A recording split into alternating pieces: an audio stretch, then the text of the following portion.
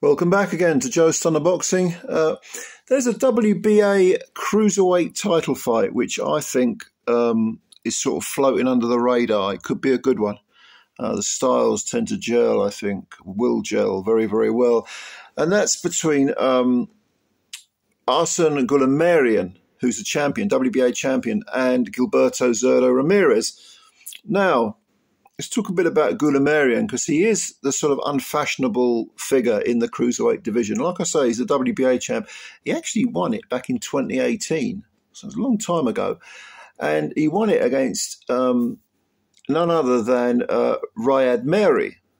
Uh, I think that's how you pronounce it. Uh, M E R H Y is Merhi, Riyad Merhi. Anyway, Mr. Merhi, um, he is probably best known for actually his last fight where he beat Tony Yoka on a split decision over 10 rounds. Um, prior to that, he lost a 12 round decision to Kevin Lerena. So he's he's a pretty decent European level fighter. Um, and he's actually he's actually scheduled to fight um, Jared Anderson, I think.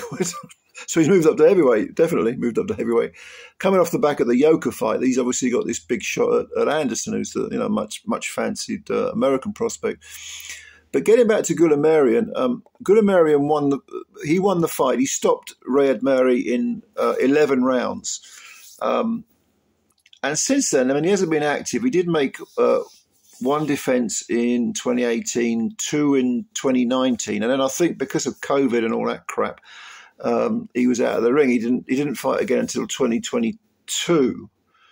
Um, and since then, he hasn't fought. So I mean, that, that he's, he's, inactive. Basically, he's inactive. But that's probably why he's held that belt for so long. I think he's made about five defences, and probably Riyad Merhi is the best opponent or the most well-known opponent. Probably, yeah, probably the best opponent on Goulamirian's um, resume.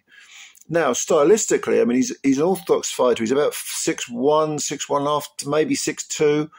Um, he's got a very uncomplicated style. He comes forward, slowish feet, but he does cut the ring off relatively well. At least he has against these sort of B minus level fighters. And he won't throw a lot of punches until he's in range. He'll, he'll jabs quite well. He's not a pure slugger. He's definitely a pressure fighter, but there's no sort of slugging goes on. So he'll come in with the jab, and then once he gets you where he wants you on the ropes, for example, he'll he'll unload. He'll unload. I mean, his fight with um, Kane Watts, the Australian, who I, I think at the time was, I think he was about thirty-seven at the time. He was he was no spring chicken. I mean, it was a mismatch. Really, that was a defence that I saw. Um, I think I watched that on YouTube. It might still be on there.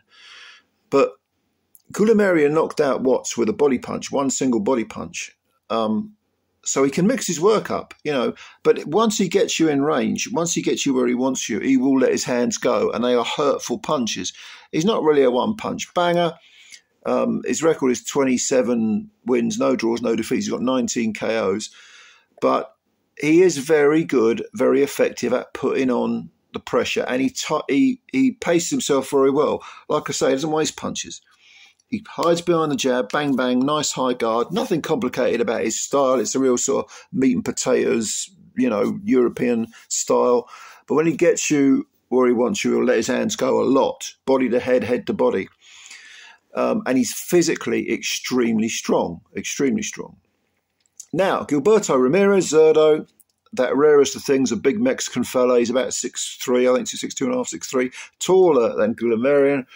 Um, Southpaw, um, comes in with 45 wins, 30 KOs, only one defeat, and the, def the defeat came a couple of fights ago against Dimitri Bivol at 175. A lot of people were picking Zurdo to beat Bivol. I, I, wasn't one of them. I thought Bivol would win on points, which he did. I thought he had too much skill for Zurdo. Zurdo unbelievably started his, his professional career as a 168 pound guy. Uh, God only knows how he made that weight because he's bloody huge. Even at 175, he, he looked massive. Um, and he had this great long unbeaten run. I mean, at 168, um, he fought, what was the guy's name? Jesse Hart twice. I think he won two decisions, two 12 round decisions. That was at 168. And they were good fights. They were good fights. He had, he had Hart down. That was for the WBO super middleweight title. but he couldn't keep him there. Hart's a good fighter, actually. Very good fighter. I think he's ever been stopped. He's got 30 wins and three defeats. And all three defeats are um, points, you know, and he give, he'll give anyone a good fight. Um, and, you know, Zurdo, um, when he moved up to 175, he beat Tommy Karpency in four rounds. I think he retired after four. And Sullivan Barrera got stopped in four. Um, but he's also got wins, knockout wins, stoppage wins in the later rounds. There's a couple of times he's he stopped the guy in the tenth round. So he's so like Goulamirian, he's got a very good gas tank, and he's a big, physically strong guy. Now his last fight was his only fight at cruiser, and he beat Joe Smith Jr., another guy who was coming up from light heavy. I wasn't overly impressed, to be honest with you. I thought he beat Smith. Smith got done in two rounds by Beterbiev. Zurdo was coming off of con- conclusive points de- uh, defeat to Bivol, so both these guys, former 175 pounders, coming up. Um, and yeah, Zurdo won it, but I mean he won it wide. I think I think I think all three judges had it. They maybe gave a round to Smith, and that was it. Um, the question is, can he bring his physicality, his physical presence up to cruiserweight and compete against a guy who's fought his whole career at cruiserweight. Now, Goulamirian is a big, strong lump, a tough guy, tough guy. Isn't it hard with one punch, but he'll put them together very well. Thing about Goulamirian is he's only, this is the first time he's been out, out of France, because I should have mentioned earlier, he's actually French, or he's based in France anyway. I think this is the first time he's been out of France for many years. I think he fought twice in Germany in his early on in his career, and the rest of it's been in France. So he's going over to the US, and I think the promoters um, are actually kind of trying to. they're thinking we've bought his title because we'll bring him over, we'll get him bashed up. By the way, this is a Golden Boy promotion. I should point that out. Put point that out. We'll bring him over, we'll get his title, and then that'll give Zurdo a belt um, and a good bargaining chip for maybe a fight with Opetaia or you know unifications, undisputed, and all that.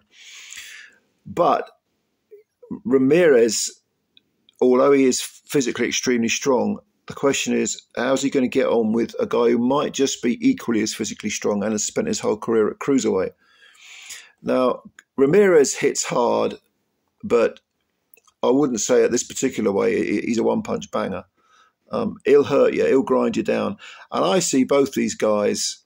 This is neither of them's going to take a backward step. I can't believe one of them's going to try and outbox the other. They're going to be coming forward, looking. It's going to be a battle of wills, a battle of you know a southpaw Zurdo. He'll probably throw more punches early. Um, will try and drain a bit, you know, draw his sting a little bit, take a bit of. Uh, he'll, he'll have that high guard, which he always has. Try and soak it up, maybe sample the power, and then he'll go to work after about three or four rounds. And I see this developing in the middle rounds into a real war a real war. you watch, it'll be boring as hell now that I've said that. but, I think, uh, no, I'm going to I'm gonna stick my neck out. I think it'll be a war. I think um, Zurdo, I see him firing more punches, but the, the more educated, the more sensible punches are probably going to come from Goulamirian. Don't get me wrong, Zurdo can Zurdo can fight. I mean, can box, I should say. Can, we know they, they can both fight. Um, and but the lack of of cruiserweight um, experience for Zurdo makes me wonder. Makes me wonder how he's going to get on against the champion. And uh, is is a good rather than great champion, but he's done his whole career at at cruiser. Uh, there's also the question: How will he travel to to the states? Will he get on with that? Um, some people don't travel well, especially if they've spent nearly all their career in one country. Um, like I say, I think it will develop into a war. Obviously, it's a 12 rounder because it's a world title fight. By about the fifth round, sixth round, they'll be exchanging a lot of blows. It'll be a battle of wills. Who can put the pressure on better? I can see few cuts going in there because neither man is particularly hard to find with punches, but they both got good jaws. Um, at least Zurdo's had a good jaw at lower weights he looks big enough to take a good wallop from a cruiser, but of course you don't want to hang your, your chin out. Um, I see, I see Zerdo either stopping Goulamirian late on his feet. I don't think he'll knock him out, but it st- might stop him on his feet. Kind of having to walk through a bit of fire to do it, certainly, um, or winning a very close decision. And even if, even if, it's got this hunch about Zurdo, I think the southpaw stance might give Goulamirian a few problems as well. It's got a hunch he might stop him late. But there won't be much in it on the cards at the point of the stoppage. You know what I mean? It'll be a very competitive fight. If he doesn't do that, I see Zurdo winning a close decision, maybe a majority decision or something like that. Is he going to stop him? Possible. Certainly possible. Yeah, I'll go for late stoppage or close decision for Zurdo. I think Zurdo will win. I do like Goulamirian from what I've seen, but he hasn't proved it at the highest level. Zurdo's his best opponent. There again, you could say Goulamirian is Ramirez's best opponent. I don't know. Anyway, let me know what you think. Leave your comments below. Um, who do you think is going to win? I think this could be a really good fight. And it, uh, I always say this, but the most intriguing fights, the ones I do previews for, are usually the ones that where I'm, I'm really struggling to pick a winner. But let me know who you think will win. Comments below. Subscribe to the channel if you're new. If you could hit that subscribe button and also the like button if you like the if you like the video, hit the like button. If you didn't like the video, hit the hit the down button. Hit the I don't mind, but if you want to support the channel, and I, I, I do appreciate it, I always appreciate your time. Um, so yeah, I'm looking forward to reading your comments as always. So um, let me know what you think. Let me know what you think. This will be a good one. Keep an eye out for it. It's on this Saturday, by the way, coming up. Take care yourselves. Bye for now.